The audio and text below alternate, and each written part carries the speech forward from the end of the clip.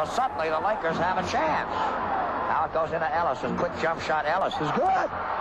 Four seconds left, and they, the lead is down to two points. All right, K.C. with the ball. Gets surrounded. One second. It's it. It's all over. It's all over. That's the final score. The Boston Celtics